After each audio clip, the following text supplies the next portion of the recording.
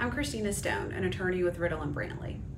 Uber and Lyft have made life so much more convenient, but accidents can be life changing. In these situations, an experienced personal injury attorney can help you get the justice and compensation you deserve. Uber accident victims may include passengers, drivers, pedestrians, bicyclists, and others. Injuries may range from mild to severe and may even be life threatening. Determining what insurance policy or policies covers damages in an Uber or Lyft accident can be difficult.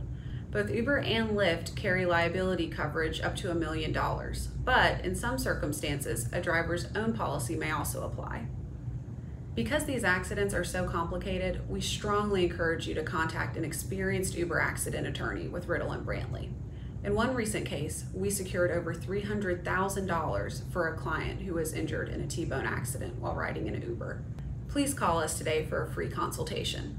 Remember, there are no attorney's fees unless we recover compensation for you. At Riddle and Brantley, justice counts.